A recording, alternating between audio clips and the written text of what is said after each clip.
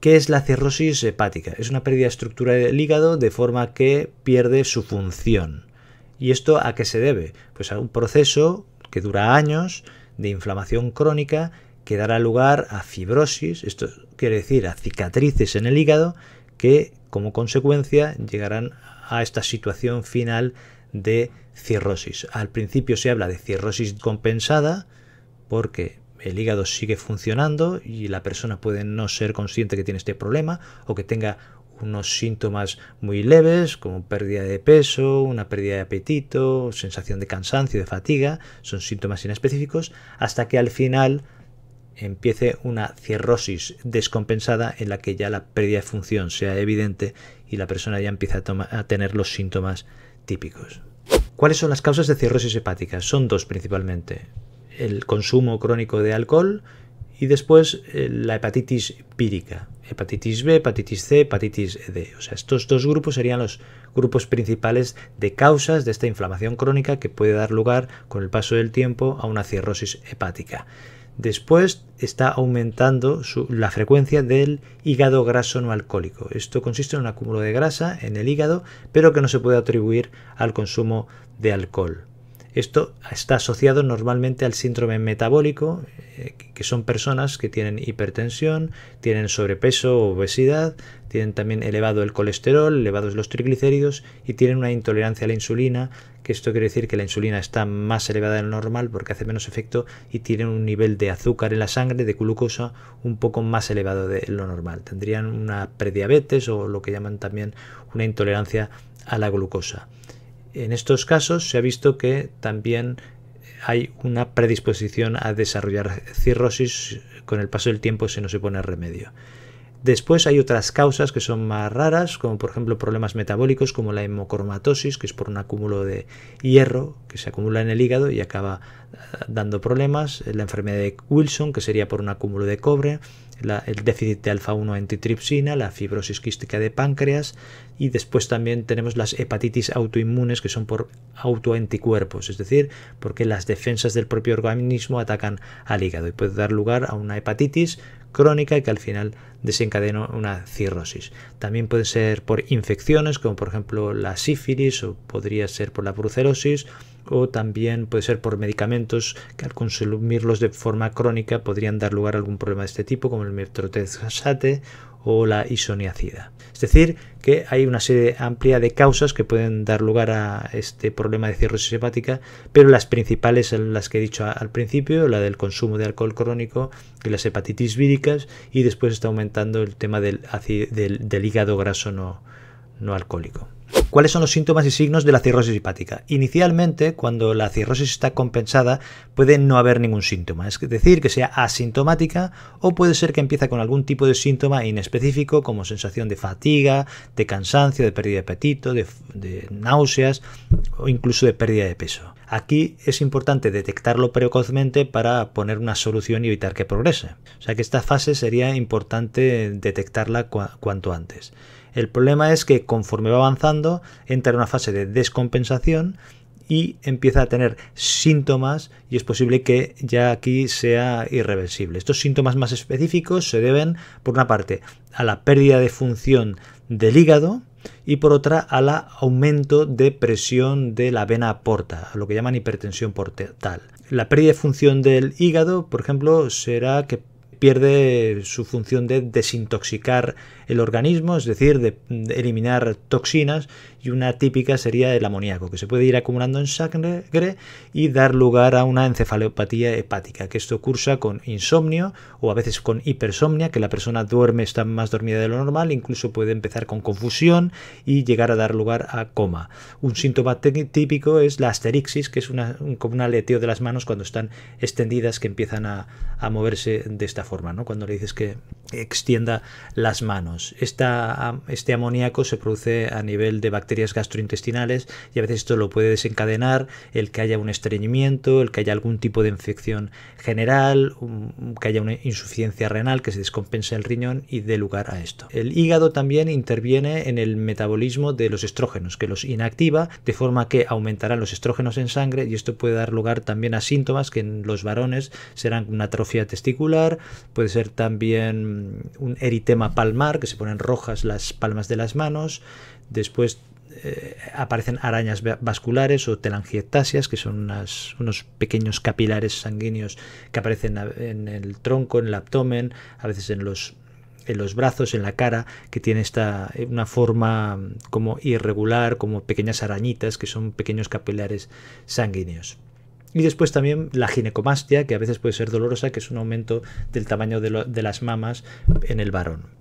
Y en mujeres también pueden dar problemas de tipo menstrual o problemas de tipo ginecológico. Después también interviene la producción de proteínas, el hígado, de forma que disminuirá la albúmina y esta disminución de la albúmina, esta hipoalbuminemia, puede dar lugar a edemas en las extremidades inferiores, que se empiecen a hinchar los, los tobillos y los pies, las piernas. También interviene la producción de factores de coagulación de forma que si estos factores no se producen, esta persona tendrá más tendencia a sangrar o a tener mm, equimosis, es decir, moratones, a veces con pequeños golpes, incluso de forma espontánea, y esto será algo también que puede ser evidente. A veces o pérdida, sangrar con más facilidad eh, en las encías, tener epistaxis, es decir, sangrar por la nariz y por otras partes del cuerpo. O sea que estos son unos síntomas que están relacionados con esta pérdida de función renal. Después, otro síntoma que puede presentarse es el aumento de la bilirrubina no conjugada. En el hígado se da lugar a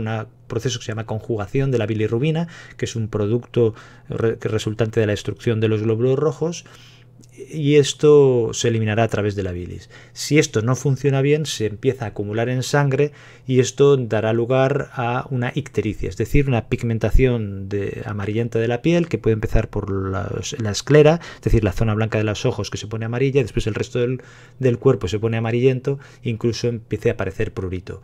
Más adelante, si esto avanza, pues puede dar lugar a acolia, que quiere decir que las heces salen de color blanca porque no se eliminan suficiente bilis al, al, intestino o puede dar lugar también a coluria, que son orinas oscuras, pero esto sería en fases más avanzadas. O sea que esto en general son síntomas del fallo de la función renal. Después nos podemos encontrar con síntomas relacionados con el aumento de la presión en la vena porta, la hipertensión portal.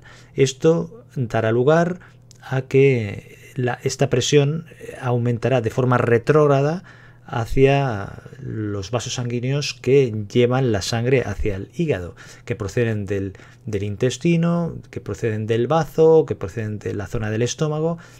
Y, esto hay variaciones anatómicas, pero dará lugar, por una parte, a varices esofágicas en la parte superior, que es decir, en la parte de mm, unión entre mm, el estómago y el esófago, que a veces pueden romperse y dar lugar a hematemesis, es decir, a vómitos con sangre o a melenas, que son eh, heces muy negras como el alquitrán, que es porque contienen sangre digerida. A veces eh, esta cirrosis se descubre por este motivo. En la parte más baja puede dar lugar a hemorroides, y después también puede dar lugar a esplenomegalia, es decir, que el bazo aumente de tamaño, aquí en la parte superior izquierda del abdomen, que a veces se puede palpar. Y esto se ve a que el drenaje del, del, bazo va hacia, la, hacia esta vena porta y al aumentar la presión, pues aumenta la presión también esta vena esplénica y dará lugar a este aumento de tamaño del bazo. Y también por este aumento de presión puede haber una filtración de líquido hacia la cavidad peritoneal, que es una membrana que envuelve el intestino, de forma que esto dará lugar a una ascitis, que la ascitis es un acúmulo de, líquido en esta cavidad, de forma que el abdomen se hará más abultado y será cada vez más evidente. Esto se puede infectar alguna vez, eh, lo que se llama peritonitis eh, bacteriana espontánea y puede ser una situación grave. Se llama espontánea porque no se sabe exactamente la causa. Después puede haber también un síndrome patorrenal que por mecanismos que no se conocen del todo puede haber una vasodilatación de forma de las resistencias periféricas en, en los vasos sanguíneos y se puede disminuir el flujo de sangre hacia el riñón. Y esto puede dar lugar a una insuficiencia renal y esto le llaman síndrome hepatorrenal. Es decir, que empieza con una insuficiencia hepática y acaba desencadenando una insuficiencia renal con los síntomas correspondientes. Después también puede haber un síndrome hepático pulmonar. Es decir, que esto también puede repercutir a nivel de pulmones y empezar con una dificultad respiratoria. Otros síntomas es una aparición de circulación colateral, por ejemplo, lo que llaman un, signo en cabeza de medusa, en el abdomen, en el que aumenta la circulación de la vena umbilical y da lugar a, como una cabeza de medusa con los tentáculos mm, que tienen un aspecto de, también como de arañas que se extienden por el abdomen y todo esto se debe a que la sangre cuando encuentra dificultad para ir a través de la vena porta pues busca caminos alternativos y ahí aumentará la circulación sanguínea y dará lugar a todos estos síntomas. El hígado en fases iniciales estará más grande de lo normal, será una hepatomegalia que se puede palpar en el abdomen, pero con el paso del tiempo se irá encogiendo y será un hígado más duro y más pequeño de lo normal. ¿Cómo sé si tengo una cirrosis hepática o cómo se diagnostica? El médico, en función de los síntomas que le expliques y los signos que pueda haber en la exploración, te pedirá una analítica y en la analítica lo que se podrá apreciar es una elevación de las transaminasas, es decir, de la AST o GOT y de la ALT o GPT. También puede verse aumento de las fosfatasas alcalinas y de la gamma GT. Estas son unas enzimas que nos indicarán que hay una afectación hepática y también puede estar aumentada la bilirrubina según la evolución o la fase en la que encontremos esta cirrosis. También se pueden alterar las pruebas de coagulación, como hemos comentado antes, y a veces también puede estar alterado el nivel de plaquetas en la sangre que esté disminuido, sobre todo cuando hay una afectación ya del, bazo. También puede haber una disminución de, de los glóbulos blancos, de los neutrófilos y otras alteraciones según el tipo de causa que haya originado esta cirrosis, que ya hemos dicho que había múltiples causas que son menos frecuentes, entonces según la sospecha se pedirán analíticas más enfocadas a mm, descartar hepatitis autoinmune o descartar una hemocromatosis, valorar el hierro, la enfermedad de Wilson, el cobre y otras que hemos comentado. Después también una ecografía abdominal puede orientarte, pero la prueba diagnóstica que se utiliza suele ser el, el, elastograma hepático, lo que llaman fibroscan, y también la biopsia hepática que nos diría exactamente cómo está viéndolo al microscopio con un, trocito de, de, tejido hepático. Después ya se pueden pedir otras pruebas como una resonancia magnética, escáneres, según lo que se sospeche y según las complicaciones que pueda tener el paciente. ¿Cómo podemos prevenir la cirrosis hepática o evitar que progrese? En primer lugar, evitar las bebidas alcohólicas, sobre todo si ya tienes una afectación hepática que pudiera atribuirse a esta causa. Pero si tienes una afectación hepática por cualquier otro motivo, también habría que eliminar las bebidas alcohólicas. En segundo lugar, el protegerse contra las infecciones por hepatitis víricas si eres un profesional, ir con cuidado y tomar las medidas de protección adecuadas para evitar el pincharte al manipular agujas y en segundo lugar el tomar medidas de protección o ser prudente con el tema de las relaciones y también preguntar si hay vacunas disponibles o que estén indicadas contra la hepatitis. En tercer lugar, el mantener un peso saludable, el llevar una dieta o una alimentación sana, rica en frutas y en verduras y el realizar actividad física, que son las recomendaciones generales que se hacen para mantener un estado de salud general que sea adecuado. ¿Cuál es el tratamiento de la cirrosis hepática? En primer lugar es tratar las causas, que las más frecuentes ya las hemos comentado. Sería en primer lugar eliminar las bebidas alcohólicas. En el caso de que la persona no pueda, pues ponerle un tratamiento específico para ayudarle. En segundo lugar, el tratamiento antiviral para las hepatitis víricas que puedan estar causando este daño hepático y en tercer lugar el mantener un peso saludable con una dieta, una alimentación sana y variada con ejercicio físico. En segundo lugar, si está más evolucionado, habrá que tratar los síntomas y signos y las complicaciones que se puedan ir presentando y que hemos comentado antes. Y en tercer lugar, si la supervivencia se piensa que puede ser menor de dos años, porque ya es una cirrosis terminal o que está muy evolucionada, habrá que hacer un trasplante hepático. ¿Cómo se tratan o previenen las complicaciones? Es decir, esto que hemos comentado de los edemas, la citis, que es el acúmulo de líquido en el peritoneo, en la cavidad peritoneal, que se abomba mucho el abdomen, las varices esofágicas, la encefalopatía hepática. Esto es el tratamiento, en primer lugar será dietético, y luego se pueden utilizar fármacos y también eh, cirugía. En el caso de la dieta, en primer lugar la dieta sin sal, una cantidad de sal muy reducida y también se suelen reducir las proteínas que proceden de la carne, del pescado, porque esto dará lugar a un aumento de amoníaco en sangre que pueda desencadenar una encefalopatía hepática. Esto habrá que controlarlo por parte del médico, el nutricionista y a veces hace falta dar suplementos vitamínicos y minerales. Esto ya habrá que adaptarlo a la persona. Hay fármacos que se pueden dar, como por ejemplo los diuréticos, que suelen darse para disminuir este acúmulo de, líquido, y también beta bloqueantes porque disminuyen la presión en la vena porta, que ya hemos dicho que esta presión en la vena porta que lleva la sangre desde el intestino, el bazo, el estómago hacia el hígado, al aumentar la presión da lugar a estas complicaciones. Después de los beta bloqueantes, en el caso de que haya una ascitis, se utiliza la paracentesis, que consiste, consiste en pinchar el abdomen y extraer el líquido, pero además se va reponiendo a través de la vena junto con albúmina. En el caso de las varices esofágicas, pues hay que ir controlándolas con endoscopias y a veces se utilizan las ligaduras, se utiliza escleroterapia, balones para intentar que no se rompan estas varices esofágicas y a veces un fármaco que se llama octiotrida que se utiliza intravenoso. Después hay intervenciones quirúrgicas que se pueden utilizar como son la derivación porto sistémica intrahepática transyugular que consiste en que se hace una derivación o se pone una prótesis entre la vena porta hacia la vena hepática de manera que se salta el, hígado de forma que así disminuirá la presión de la sangre que va hacia el hígado y disminuirá la presión en la vena porta y disminuirá estos síntomas.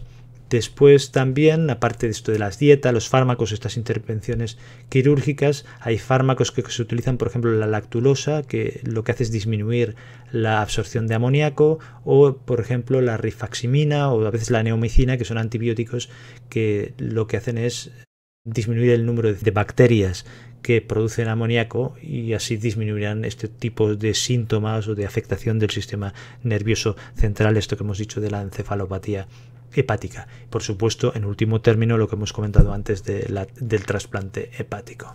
¿Debo evitar totalmente el alcohol si tengo una afectación de este tipo hepática? Pues sí, no queda más remedio. En el caso de que no pudieras eliminarlo porque tienes algún tipo de dependencia o porque es muy difícil, pues hay que pedir ayuda para poner un tratamiento, pero hay que eliminarlo en el caso de que tengas afectación hepática. ¿Se pueden tomar analgésicos? Pues se recomienda no consumir mm, antiinflamatorios no esteroideos, o sea, no consumir ibuprofeno, naproxeno, diclofenaco y similares, porque pueden afectar al riñón, por esto que hemos comentado antes del síndrome hepatorrenal y complicar las cosas. O sea que esto habría que eliminarlo. Tampoco se recomiendan los opioides, opiáceos. Lo que sí que se podría consumir es el paracetamol o acetaminofén, pero como máximo 2 gramos al día y siempre bajo supervisión médica porque ha de individualizar según la persona. Es decir, a dosis bajas se podría consumir en términos generales. ¿Se recomienda la vacunación? Sí, porque tienes más predisposición a hacer infecciones. Entonces se recomienda la vacuna contra la gripe, la vacuna antigripal, la vacuna contra la hepatitis B y también la vacuna contra el neumococo. ¿Predispone al cáncer de hígado la cirrosis? Sí, porque se ha visto que una elevada proporción de personas que tienen hepatocarcinoma, que es el cáncer de hígado más frecuente, tienen antecedentes de cirrosis. Te dejo aquí otro vídeo sobre hígado graso que seguro que te interesa. Muchas gracias, un abrazo, cuídate y hasta el próximo vídeo.